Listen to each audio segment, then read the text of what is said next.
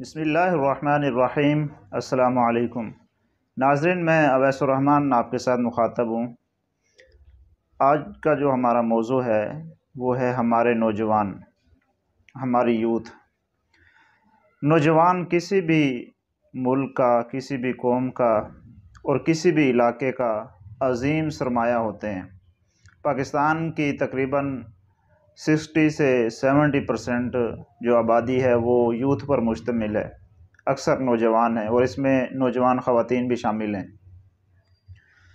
हमारे यूथ का जो मेन और बेसिक प्रॉब्लम है, उसके कई पहलू हैं, उनमें से हम दो चार पहलू को उजागर करेंगे ताकि हमारे यूथ के अंदर जो सुकम है, उसको दूर किया जा सके। सबसे पहला सुकम हमारे यूथ का, कि इनके अंदर कन्फ्यूज़न बहुत ज़्यादा पाई जाती है। डिग्रियाँ मिल जाती हैं, लेकिन प्रैक्टिकली लाइफ के अंदर अपनी सलाहियतों का निखार नहीं कर सकते। इसकी बेसिक वजह यह है कि इनको पता ही नहीं होता कि हमने करना क्या है। इवन के एडमिशन लेने के बाद भी स्टूडेंट कंफ्यूज होते हैं कि जो मैंने ये डिपार्टमेंट चॉइस किया है, इसमें मैंने एडमिशन लिया है, क्या मैंने ठीक जगह एडमिशन लिया है या नहीं? काफ़ी मेरे दोस्त ऐसे जानने वाले हैं कि जिन्होंने छः माह एक डिपार्टमेंट में पढ़ा, उसको छोड़ दिया। फिर दूसरे छः माह दूसरे डिपार्टमेंट में पढ़ा, फिर उसको छोड़ दिया। वो डिसाइड ही नहीं कर पा रहे कि हमने कौन सा डिपार्टमेंट चॉइस करना है, किस तरफ़ हमारा रुझान ज़्यादा है, हमारा शौक़ किस डिपार्टमेंट में है। एक स्टूडेंट्स को डॉक्टर बनने का शौक़ है, वो जाकर इंजीनियरिंग वाले डिपार्टमेंट में एडमिशन ले लेता है।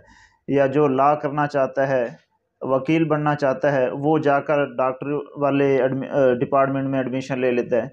तो ये एक बहुत बड़ा प्रॉब्लम है हमारे यूथ के अंदर कि वो डिसाइड ही नहीं कर पा रही कि हमने बनना क्या है, जाना किस तरफ़ है और हमने एडमिशन किस डिपार्टमेंट में लेना है। नतीजा ये निकलता है कि बिज़नेस की उनके पास डिग्री होती है और बिज़नेस का ना उनको शौक़ होता है और ना उनकी सलाहियतें होती हैं, क्योंकि पीछे एक विजन और मकसद नहीं होता और ना ही उन्होंने डिसाइड करके एडमिशन लिया होता है। तो ये एक बहुत बड़ा अलमिया है हमारे यूथ के अंदर जिसको सोल्व करना बहुत ज़्यादा ज़रूरी है।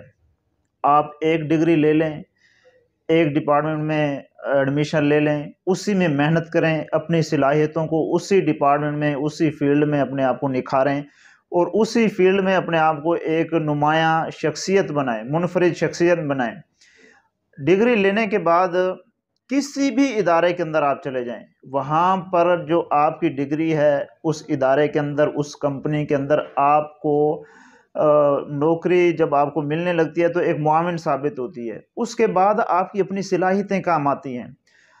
आप जब उस कंपनी को ज्वाइन कर लेते हैं, उस इदारे को ज्वाइन कर लेते हैं, अपनी डिग्री दिखा कर तो ज्वाइनिंग के बाद उस इदारे के अंदर आपकी डिग्री की हैसियत नहीं रहती, बल्कि आगे प्रैक्टिकली लाइफ के अंदर आप की सलाहियतें काम आती हैं, उस कंपनी को, उस इदारे को, आपकी सलाहियतों की ज़रूरत होती है, आपकी डिग्री की ज़रूरत नहीं होती।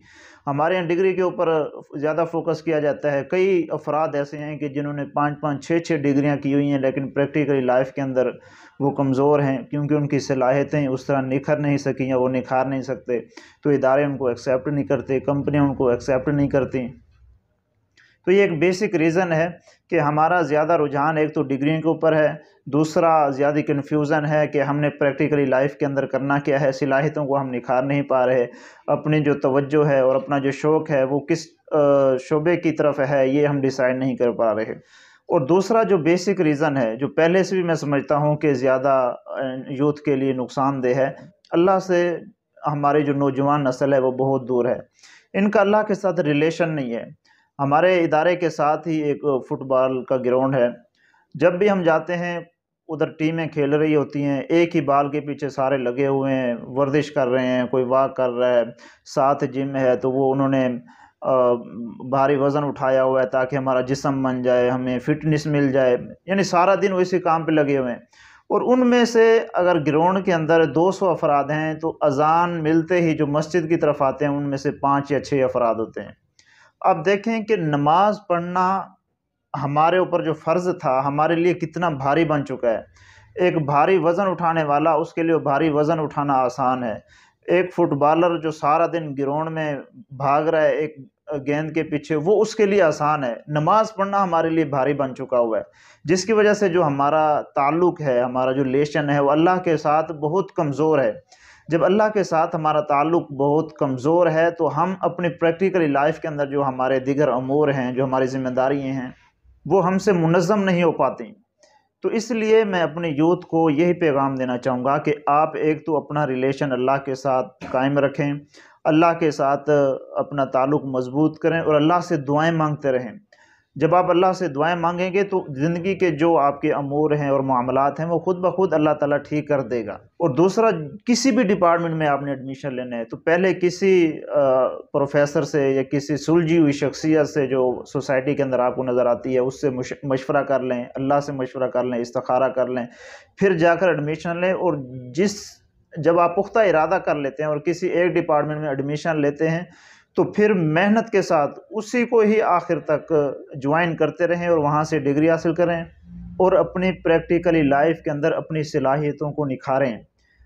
मैं एक दफ़ा फिर कहता हूँ कि इदारों के अंदर ज्वाइनिंग के बाद, कंपनियों के अंदर ज्वाइनिंग के बाद आपकी डिग्रियों को ज़रूरत उनको ज़रूरत नहीं होती। उनको जो ज़रूरत होती है वो आपकी सलाहियतों से होती है। इदारों के अंदर लोगों की कमी नहीं है। इदारों के अंदर बासलाहियत लोगों की कमी है। तो अल्लाह ताला हम सब का हामी नासिर हो। वसलाम